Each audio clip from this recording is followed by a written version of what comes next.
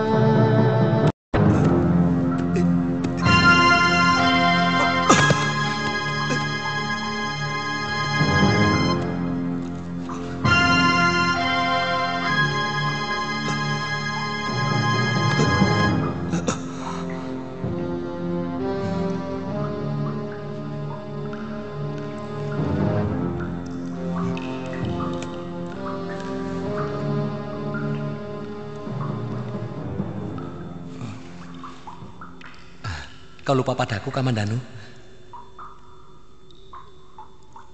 Saya pernah dengar suara itu. sering. Sangat sering.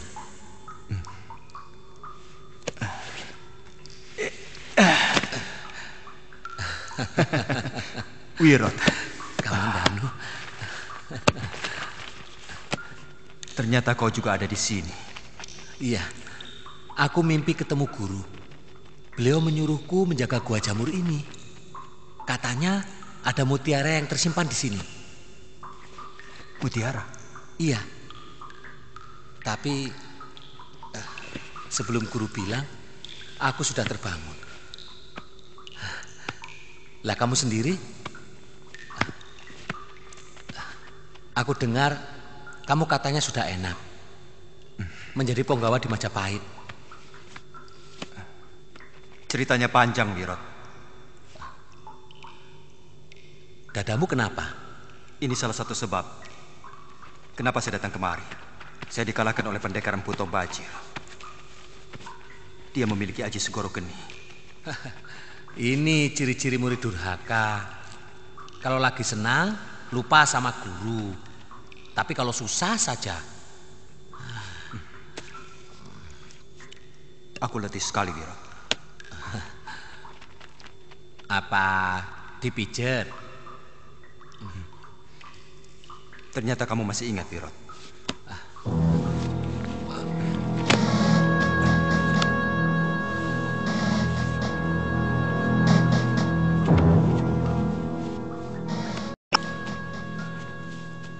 Aku sangat sedih mendengar cerita tentang keluargamu, Kamandanu.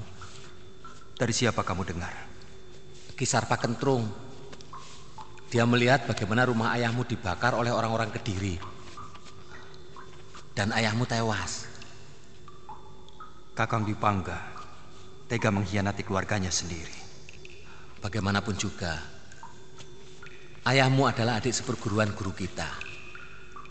Paling tidak, kalau ada permasalahan apa, saya masih bisa minta nasihat beliau. Guru,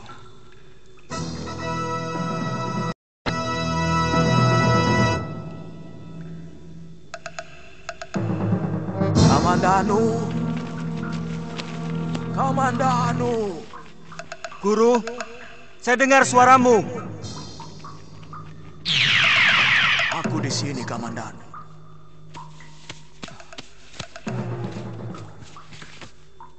Maafkan saya, Guru. Pedang pusaka naga puspa yang Guru titipkan kepada pendekar lo telah direbut orang. Tidak apa. Apakah tidak berbahaya kalau pedang pusaka itu dipegang oleh pendekar yang jahat? Seperti Butom Bajil, Guru. Tidak ada seorang pun yang bisa menggunakan pedang pusaka itu. Kalau dia tidak menguasai jurus ilmu naga puspa tingkat kelima. Kalau begitu pun saya tidak mampu?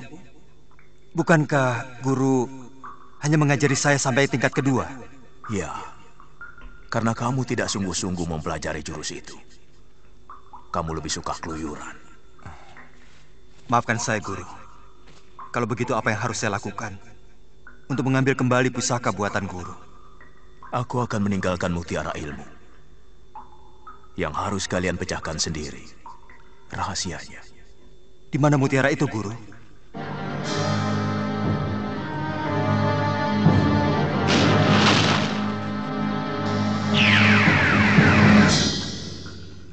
Guru! Guru!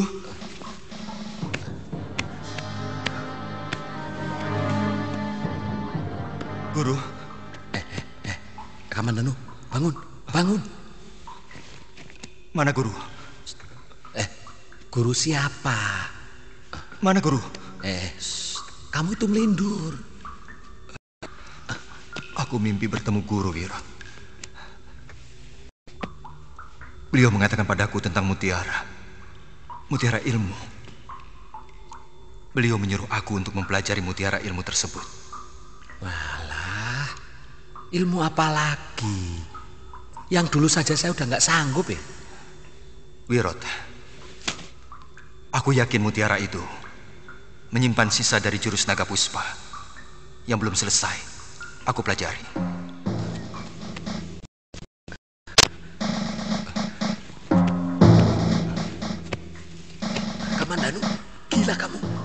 Itu tempat suci guru. Nanti kualat kamu. Carilah barang di tempat di mana orang lain sama sekali tidak menduga.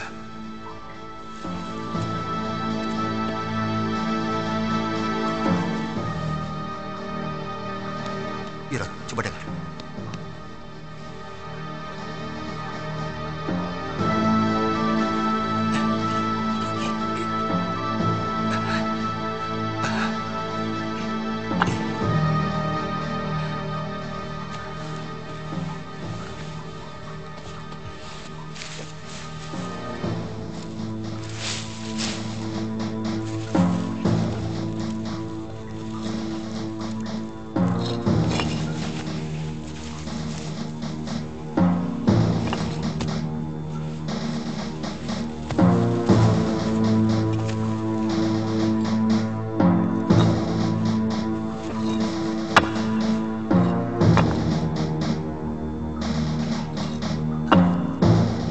Mutiaranya?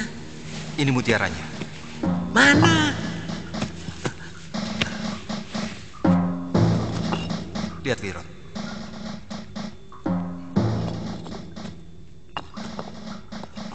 Menurut kamu, ini gambar apa?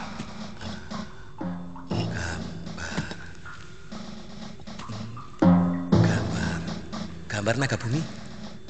Tapi mana mutiaranya? Inilah mutiara ilmu yang diberikan guru kepada kita.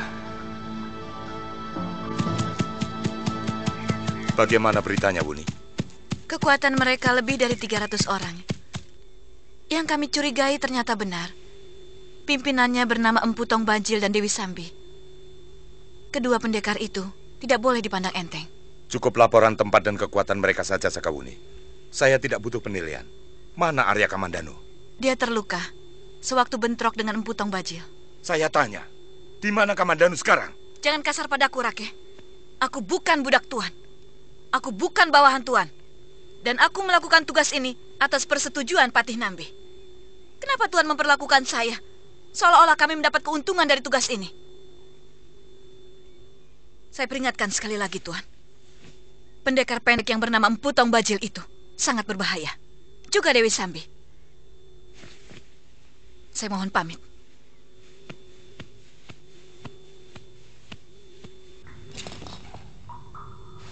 Lunggah Kapulungan.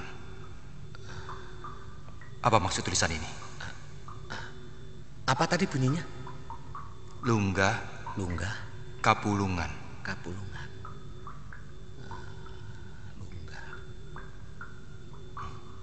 Kamu tahu arti tulisan ini, Wirot? Sebentar, sebentar. Saya pernah mendengar kata-kata itu. Ah, kalau Kapulungan itu nama sungai yang ada di barat. Ah, kalau Lunggah, oh, aku lali kok. Aduh, aku lupa.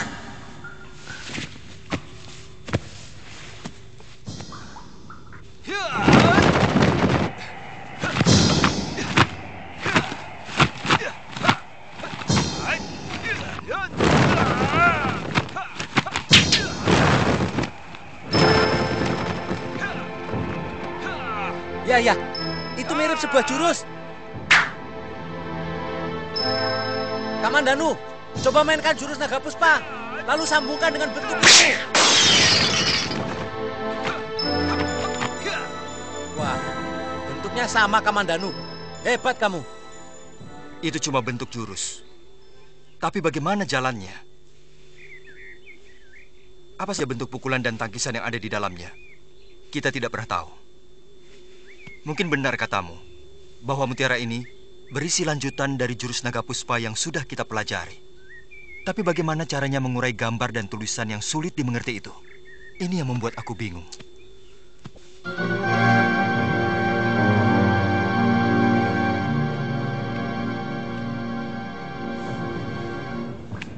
Sudah.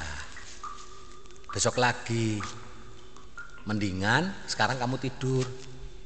Siapa tahu kamu mimpi bisa ketemu lagi. Besok aku harus pergi, Wirot. Ke mana? Ke Sungai Kapulungan. Kalau kamu sudah sampai di sana mau apa? Aku akan mencari seseorang. Atau mungkin desa yang bernama Lunggah. Oh, gila.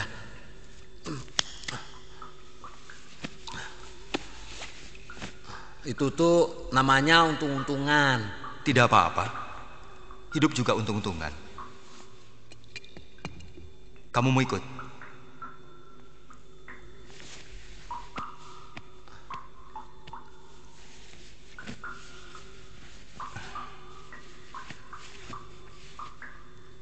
Akan aku cari mutiara itu di sini, di gua ini. Kalau begitu kebetulan. Kalau nanti ada yang cari aku namanya Sakawuni. Katakan saja aku pergi ke Kapulungan. Nanti aku akan kembali lagi ke sini.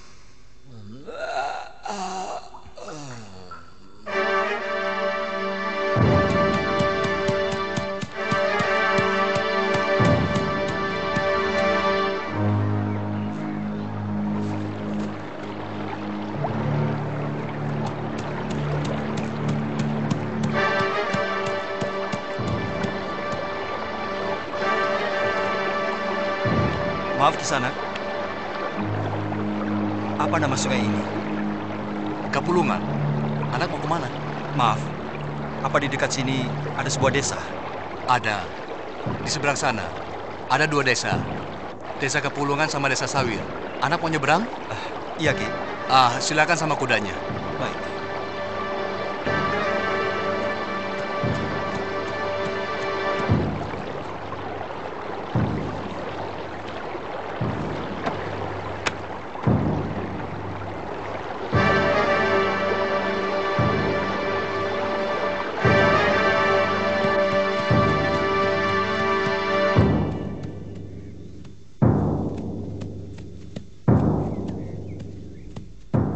Ke mana, Cah Bagus?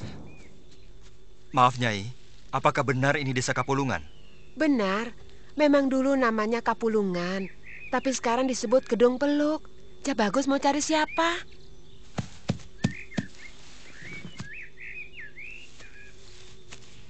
Apa di sekitar sini ada desa yang bernama Lunggah? Ki, Cah Bagus ini tanya, apa ada desa yang namanya Lunggah? Lunggah. Lunggah kan nama si Aki yang tinggal di dekat hutan bambu itu, Toki. Terima kasih, Nyai.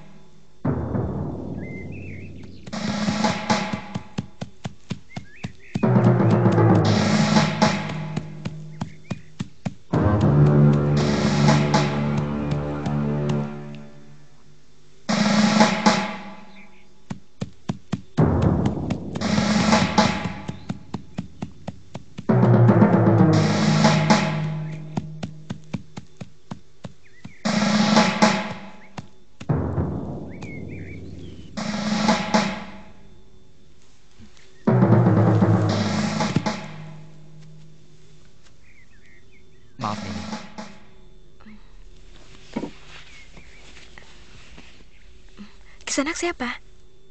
Saya dari desa Kurawan. Nama saya Arya Kamandanu. Ada sesuatu yang ingin saya tanyakan pada Kilungga. Bapak belum pulang. Barangkali sore baru datang. Kalau Kisanak mau menunggu, silakan. Itu ada amben. Mungkin Kisanak mau istirahat. Terima kasih, Silakan. Nini.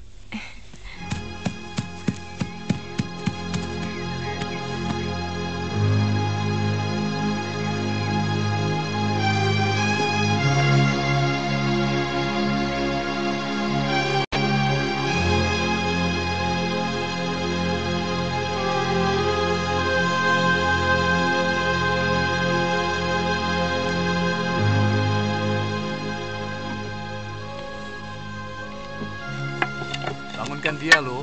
Ajak sekalian makan sama-sama. Iya, Pak. Bapak tahu desa Kurawan itu di mana? Jauh. Dulu Bapak pernah ke sana. Sudah cepat.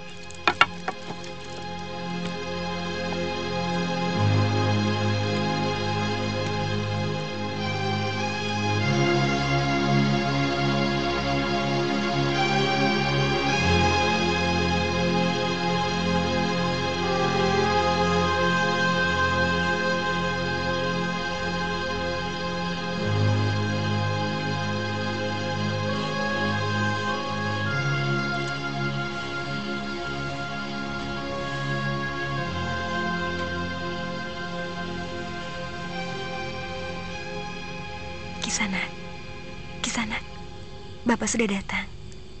Silakan Kisanak. Bapak sudah menunggu di dalam. Baik. Rupanya saya ketiduran.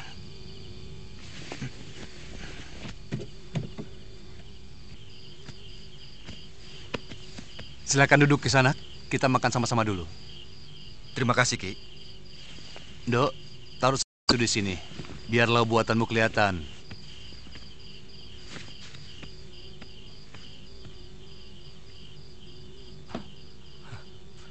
Maaf. Ternyata Kilunggah itu Bapak. Saya juga baru tahu kalau anak mencari saya. Tadi siang anak hanya menanyakan desa Kepulungan. Iya kan? Maaf, Ki. Ayo nak, silakan. Kita ngobrol sambil makan.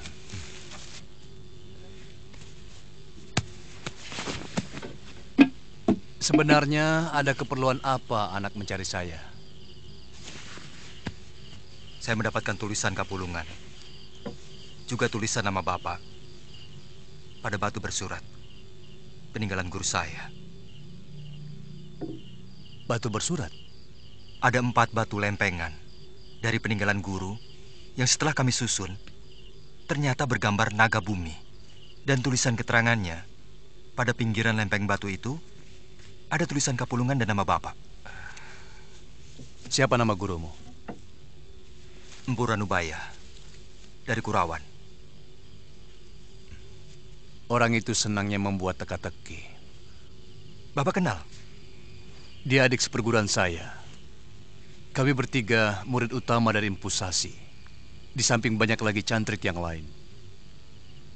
Orang hanya mengenal Empu Sasi sebagai ahli gegaman, pewaris Empu Gandring, padahal guru juga sangat mumpuni dalam ilmu kanuragan. Ada beberapa jurusannya yang sangat hebat, tapi yang paling menonjol adalah jurus naga puspa. Sayangnya Adi Ranubaya dan Adi Hanggaraksa tidak begitu tertarik. Mereka lebih mendalami ilmu gegaman. Hanggaraksa itu ayah saya, Kilungga.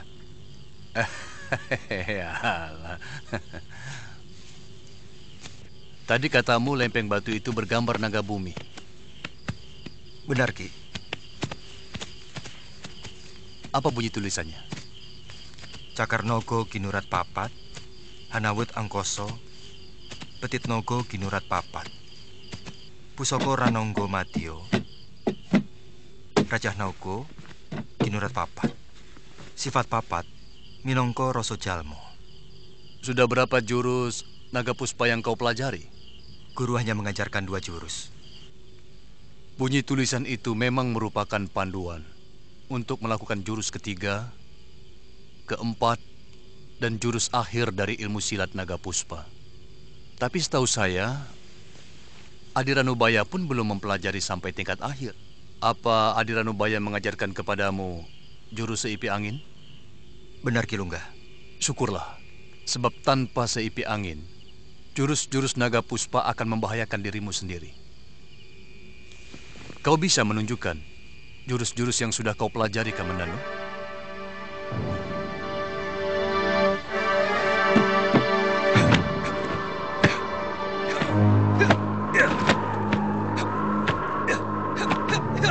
Kedua jurus itu kau mainkan dengan bagus.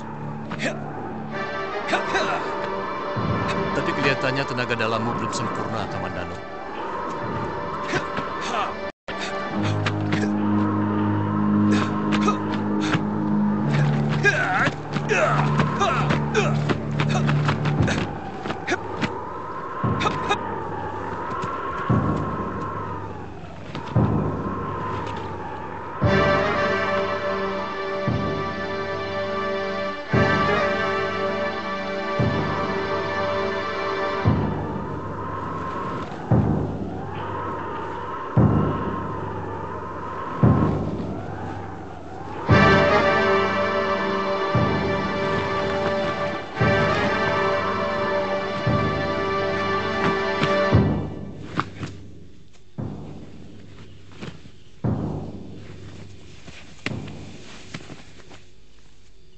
Kamu salah kalau sudah mengira yang dilakukan Luh Jinggan itu jurus naga puspa. Maaf, Ki. Saya yakin itu pasti jurus naga puspa. Paling tidak saya bisa menangkap inti dari cakar Nogo, Kinurat Papat. Itu hanyalah sebuah tarian. Namanya Nisacara Nagini. Sebuah tarian yang saya ciptakan khusus untuk Luh Jinggan. Kenapa? Luh Jinggan berjiwa halus. Bahkan untuk membunuh seekor semut pun dia tidak tega. Saya tidak mau ilmu kadikjayaan yang adiluhung ini akan sirna kalau saya meninggal.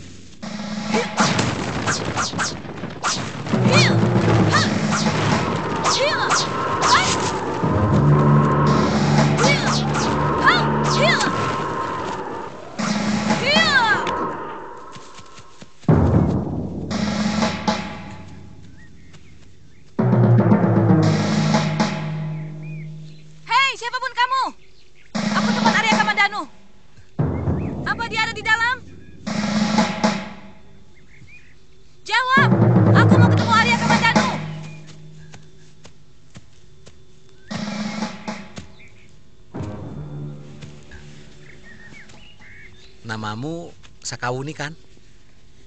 Kakang Kamandanu yang kasih tahu namaku kan? Kamu yang pasang hantu-hantuan tadi ya? Oh, itu. Mainan anak-anak desa Kurawan itu memang nakal-nakal. Lah petilasan guru itu mereka acak-acak. Jadi, ayo Nini, masuk dulu. Ada pesan dari Kamandanu. Yuk. Mengerti? Apalagi kamu. Awong Kamandanu itu yang dua hari dua malam mengartikan gambar dan tulisan ini, dia nggak ngerti-ngerti juga kok. Itu kenapa dia pergi? Iya, tapi setelah baca tulisan ini,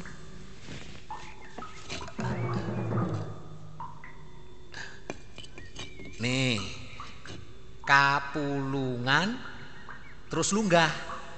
Pesannya apa? Katanya Nini disuruh menunggu di sini. Nanti dulu, dia ke mana?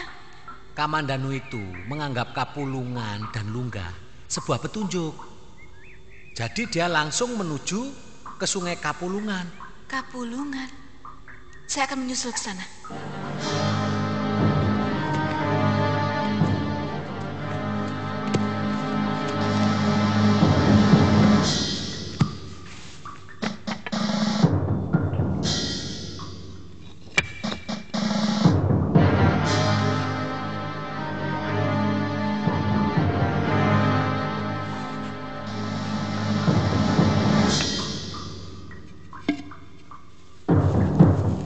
Seperti ini gambar yang ada di lempengan batu yang kau temukan. Benar Kilungga. Ini adalah tiga jurus akhir dari ilmu silat naga puspa. Di mana kau akan menggunakan pedang pusaka sebagai pasangannya. Apa maksud Kilungga? Empu Sasi mengatakan, kesempurnaan dari jurus naga puspa adalah pedang pusaka. Terutama pada petit Nogo Kinurat Papat dan jurus pamungkasnya Raja Nogo Kinurat Papat.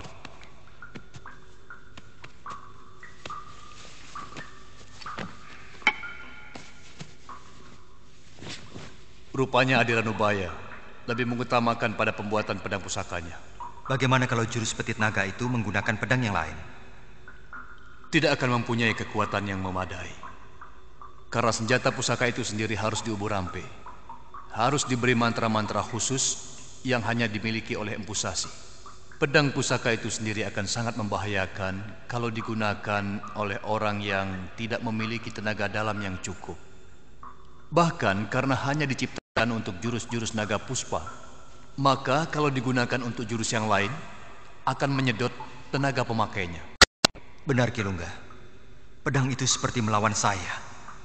Bahkan dia seperti memiliki gerakan sendiri yang sangat liar. Dan itu yang menyedot tenaga dalam saya. Kamu tahu kenapa? Hmm, karena Adiranubaya pasti telah memasukkan roh naga ke dalamnya. Dan naga tidak mudah untuk dikendalikan, kecuali oleh jurus naga puspa. Di mana pedang pusaka naga puspa itu sekarang?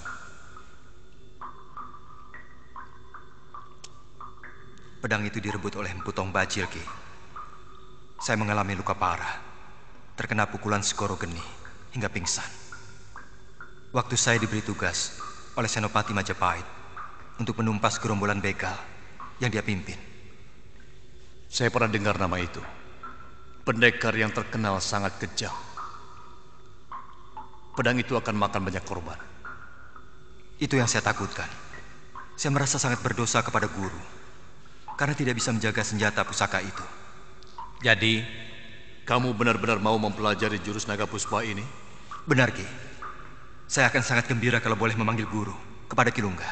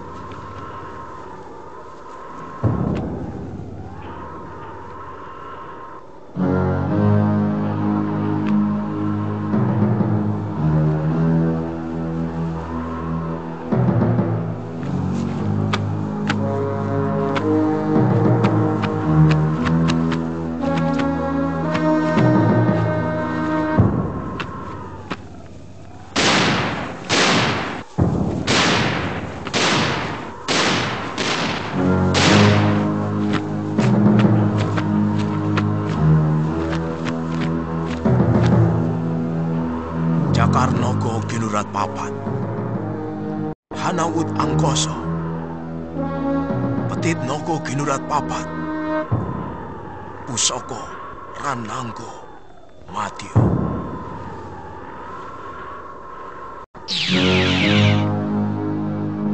Jangan buka matamu. Tapa beratamu belum paripurna. Tinggal sehari lagi, Kamandanu. Tinggal sehari lagi.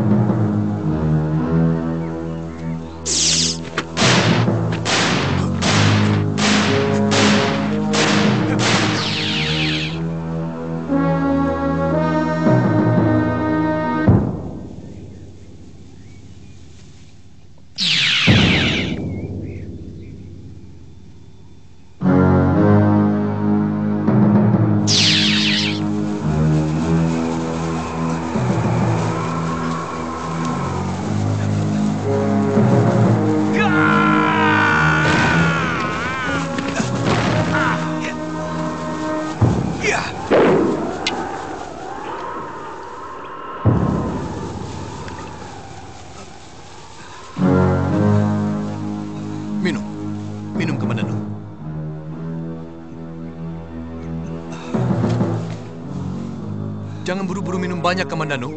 Jantungmu bisa berhenti.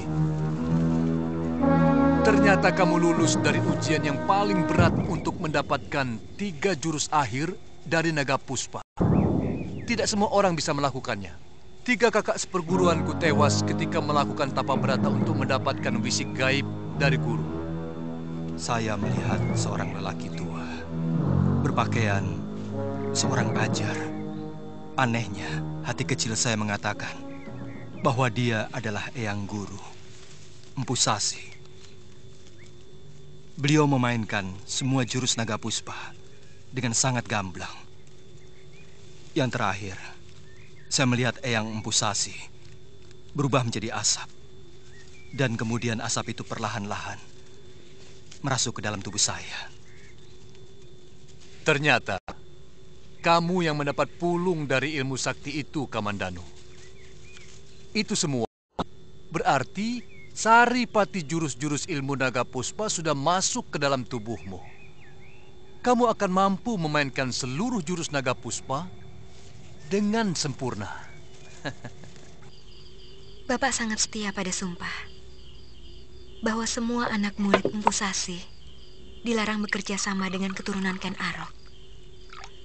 Itulah sebabnya Bapak lebih memilih tinggal di desa terpencil yang jauh dari kota Raja Singosari waktu itu. Kenapa? Kesannya Empu Sasi itu memusuhi Raja Singosari. Empu Sasi adalah murid dari Empu Gandring yang melihat secara langsung bagaimana Empu Gandring ditikam dengan keris buatannya sendiri oleh Ken Arok yang memesan keris tersebut. Iya, saya pernah mendengar cerita itu.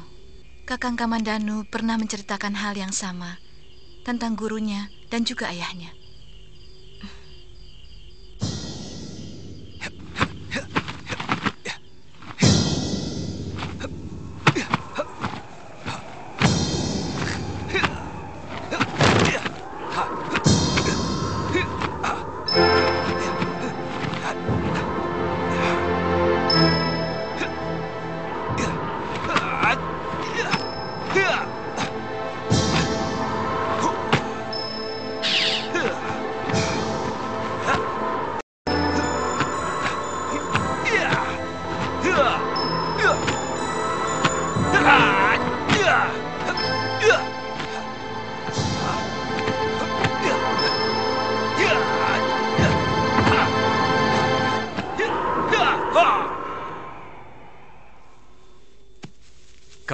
Melakukan seluruh jurus naga puspa tanpa cacat, dan kamu sama sekali tidak kelihatan letih, Kamandano.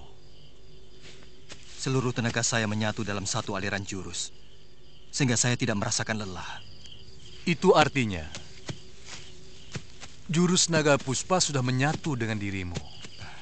Tapi kalau saya menggunakan pedang pusaka naga puspa, apa akan sama? Sebab selama ini pedang naga puspa selalu menyedot tenaga dalam saya. Tidak akan, sebab pedang ciptaan gurumu pasti memiliki gerak yang seirama dengan gerak jurus naga puspa. Besok pagi, kita kembali ke Kedung Peluk. Berbahagialah, kamu sudah mendapatkan apa yang kamu cari. Dia seperti sengaja memanas-manasi saya. Dia selalu berusaha untuk menghalang-halangi saya dekat dengan Kakang Kamandanu. Loh, kok ndelat begitu? Apa selama ini kamu selalu dekat dengan Kamandanu? Tapi selama ini Kakang Kamandanu selalu baik pada saya. Ramah dan... Loh, Kamandanu sudah bercerita banyak kepada Bapak bahwa dia sedang mencari istrinya yang hilang. Dan Sakawuni itu adalah teman seperjuangannya sewaktu menumpas penjahat dan waktu membantu orang-orang Majapahit menghancurkan kekuatan Kediri. Kakang Kamandanu sudah beristri. Dia tidak pernah cerita? Istrinya orang Mongolia, Kitai Nagari. Guru, kami mohon pamit.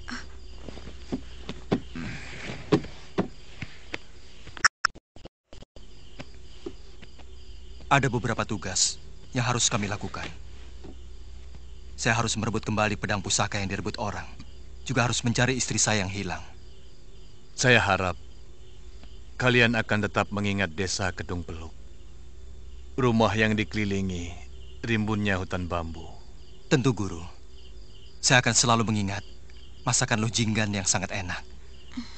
Terima kasih ya, Lu. Hanya ini kenang-kenangan dari saya, Lu. Saya senang punya sahabat seperti kamu. Semoga persahabatan kita bisa selalu abadi. Seperti persahabatan saya dengan Kakang Kamandano.